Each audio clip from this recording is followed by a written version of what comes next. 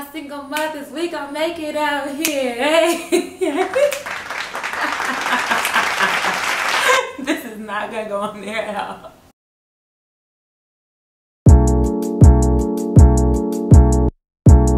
All right, y'all, without further ado, actually, never mind. No, we're gonna, matter of fact, if you are a single mom right now, or if you know a single mom, just go ahead and give them a round of applause. Y'all give yourself a round of applause.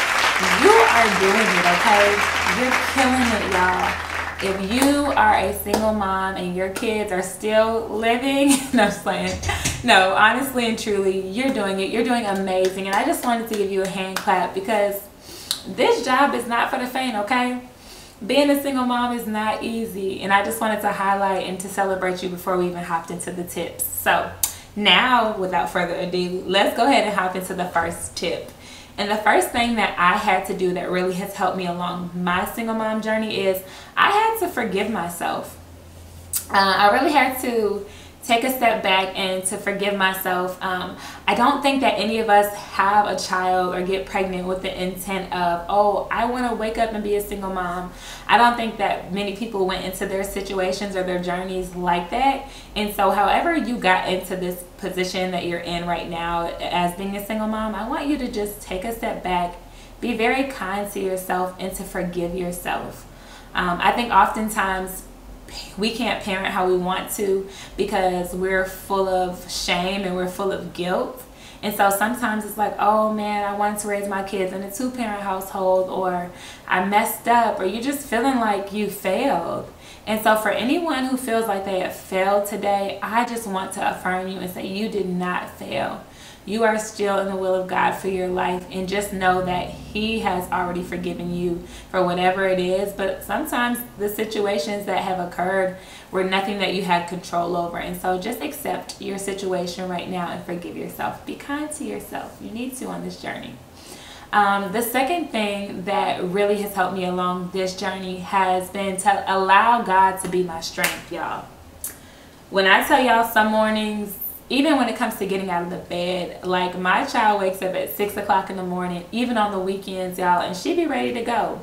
And I literally have to call on the Lord, and I've learned to call on Him out loud and say, God, I need you today. Like, I need you to be my strength because honestly, right now, I feel depleted. I'm drained. I don't have any energy. Um, yeah, and I just ask him to be my strength, literally. Even when it comes to those long weeks and those weeks where you sometimes you feel like you haven't had time for yourself. Because if you're a single mom, sometimes help is not always offered. And so I've literally had God give me strength on days where I felt drained and I could feel his presence near me. And so I want you to start pausing a little bit more and I want you to start really asking God for strength throughout this journey because if you're trying to superwoman this journey, I got news for you, baby. That's going to come to an end real soon and you're going to find yourself real stressed out. Maybe you already found yourself stressed out. And so that's probably because you're doing it alone and you're not doing it with God's help. So ask the Lord to be your strength and He'll do it. I'm telling you. I'm literally. The third thing that I think has been really, really helpful has been kicking the stinking thinking. That's lame, but I really, uh, I guess I'll rephrase it as the negative thinking has to go, y'all. Um, honestly, I feel like a lot of the times mothers spend this journey shaming or just being so angry at the person who um, got them pregnant or who they've had the baby with where all you're thinking every day even sometimes when you look at your children unfortunately you're thinking how you can't stand that person or how this person put you in this position. And I want you to remember that when you're doing that and when you're giving that person all that power over you, it's only taking more energy and time away from your children who really didn't ask to be here and they're just longing for you to be present and to connect with them. And so don't allow that negative thinking to interfere with your life, with your health, and with your parenting. Um, even thinking like, oh man, I'll never be out of this position, or when will this end, or everybody else has it going on and I'm struggling. Whatever your thinking pattern is, I want you to start turning it into a positive way of thinking. So it's called reframing. Um, I want you to reframe your situation as oh my gosh, I won't get these days forever. Let me cherish these days with my baby girl. Let me cherish these days with my baby boy because I don't know when I'll get these days back and I want to enjoy every moment. Reframe it like uh, even when you're thinking about the other partner, I hope they're healing so they can be the best father that they need to be for the child.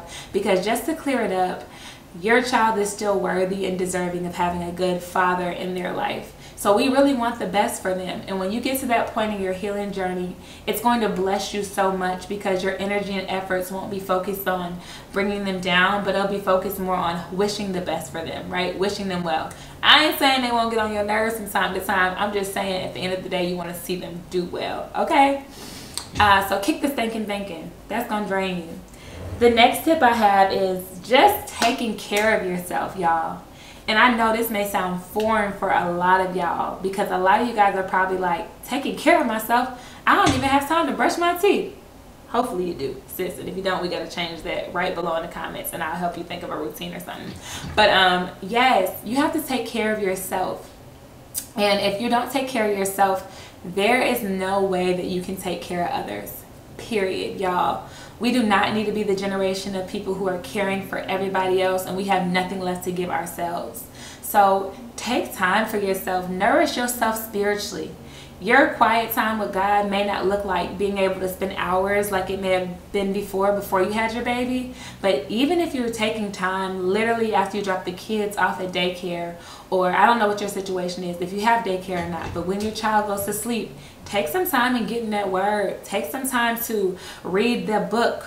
Um, I have How We Heal Here by Alex Elle. Stuff that's going to nourish and feed your mind and encourage you to um, just be well. Uh, take care of yourself physically, y'all. Um, if you cannot get to the gym, maybe even with your kids in the um, in, in their stroller, just going for a walk, getting outside and breathing. Do not neglect you because your kids, you know, these kids, they're gonna need you, and they ain't gonna care if you have a sore a sore thigh from working out or if you have a headache. They want you, and so if you're not good, you're not going to be able to give them goodness. You're just going to give them the stress that you're carrying, and that's just going to probably destroy their confidence or impact them in a negative way. And we don't want that. So just take care of yourself, y'all. Also, another thing to be realistic, um, and that's this is going to go into another one of my points. I guess I'll just go into it. The other one is ask for help, guys. Because sometimes the only way that you can take care of yourself is by asking others for help. And I struggled with this so hard, y'all. Like, even when I was pregnant, I was living with my aunt and I had to ask her, like, to help me with basic things, like get the groceries out of the car. Stuff that I was used to doing. And she would say, girl, you better ask me. And it kind of helped me to start getting more comfortable. But still, a part of me is always feeling like if I'm asking for something, I'm a burden. And I want you to pause if that's you and I want you to literally break that mindset because you have some real people around you who care about you and who love you and who have offered to help you. And if you have not had that, I'm going to encourage you to either find like a really good um, church home or even if it's not that, even if you just need to strengthen and nourish some friendships around you and just pray. God will reveal the people that can help you. But some days you're going to need self-care days. Um, some days you're going to just need a break altogether. And so if you don't ask, it's one of those things where a closed mouth don't get fed, okay? So you can't be expecting people to read your mind. They don't know that you over here struggling in the house and you ain't been outside for 10 days because you ain't had no help. I'm being extreme, but sometimes it really do be like that. um, but yeah, ask for help because the more you ask for help, the better it'll be for your kids in the long run. And the reason why I keep bringing the focus back to kids and the kids is because honestly, these children that we had did not ask to be here and I feel like they deserve the world. And so we just want to make sure that we give that to them while still taking care of ourselves, okay? Other tip I had is be present with your kids, y'all um, so many times we're consumed with social media or we're consumed with other people's lives where we're not even present with our child or we have so many problems going on. Let's just call it what it is. We got bills to pay. We got um, different things, projects that we want to work on ourselves. We have all kinds of distractors and things that could really are really begging for our attention. But I've realized that I want to be present with my child because I don't want to miss moments where I'm looking back and saying, what did we even do then? Or what was she even like when she was three? What was she like when she was four? Like, I want to remember everything, y'all. And there's so much beauty in that because the more present you are with your child, I feel like the more confident they are. I feel like the more reassured they are and the more um, safe they feel with you. Um, just because they know that my mom is really paying attention to me. Like my mom really cares about what I'm doing. So um, no matter what age, y'all, I don't care if your child is 16 and they like, mama, get out of my room. No, baby, I want to spend some time with you. Or if they're talking about school, let me be interested in what you're interested in. You know, so be present with your kids. Don't be so stressed out by the woes of becoming, of, of being a single mom where you miss the most important part and that's showing up and being present for your babies. Um, okay. And I guess, oh my gosh, I'm almost done. This video to me has been so like, it's just therapeutic even talking about all this. But I want you to release bitterness. And I know we spoke about that before when I referred to uh, my other point. But guys, we don't need you bitter, baby. We need you better, okay?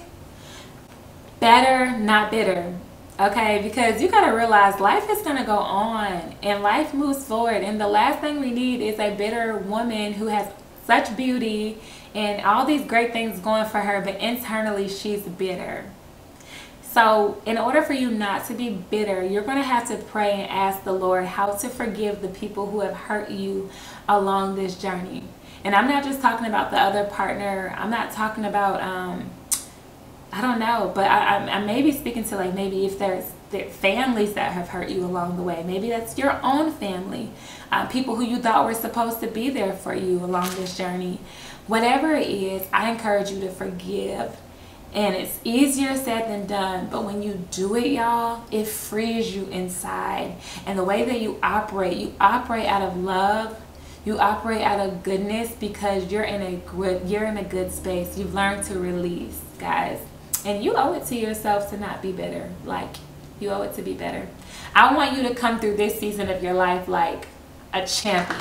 Because I feel like after you've mommed and then you've able to maintain yourself and just to do what you needed to do, you're to feel great. So let the bitterness go. Release all bitterness. And, oh, and I wanted to say too, be patient with yourself um, while you're learning to forgive. It doesn't happen overnight, but just know that you'll get there. And when you do, like I said, it'll feel so good. And the last thing I have for y'all is to trust God with everything. I know I talk about God a lot, but when I tell you He's been my true anchor in all of this, He literally has. And so just learn to lean on Him and depend on Him. Lean on Him for the bills. Lean on Him for your career. Lean on Him for your kids' health, for your own health. Just lean on Him. Allow Him the room to really work and move in your life, to hold your hand through this journey. He can literally hold your hand. He can hold your hand in this journey, and He can also give you a new mindset or give you new eyes on how to see your situation, y'all. So I just believe that better is coming. Better is coming, and it's better than what has left you or what's behind. And you owe it to yourself, but more importantly, you owe it to your babies. So I hope this video has been helpful to y'all. And uh, now you can go ahead and like it if you liked it. And if you didn't, I understand that too, you know. But um, single moms, you shall be great in this season, okay? And I'm here for you. Can't wait to hear more. If you want to hear more videos about being a single mom or about like tips that may have helped me, please comment um, and let me know. And I will definitely shoot out some more content because this is my passion. I love to talk about that. I love to talk about things that I have gone through. So yeah, hey, hey, hey, let me stop beatboxing because y'all gonna be like, dang, she always beatboxing. But I like to. Okay, I'm done. See you next time. Oh. Also, remember what I said. Do not let fear hold you back in 2023. I cannot stress that enough. Fear, you gotta go. Blessings are right outside of your comfort zone. Hey, hey, hey. Single mom, single mom, you go make it happen. One thing you might not get in as much napping, but you know you gonna do it. And I got your back through it. Hey, hey. And I got your back through it. Y'all, I used to be a rapper back in my day, but my bars have faded. Anyways, I love y'all so much. Thank you for letting me be myself and subscribe and like. Ow, hey, hey. Oh yeah, and this book, How We Heal by Alex Elle is really, really good. That's my girl since day one. I really will link this book in the, um, I always say my bio. I'll link it in the description box below. It's great. And can we just talk about this lip real quick? Can we just talk about this Ruby Woo?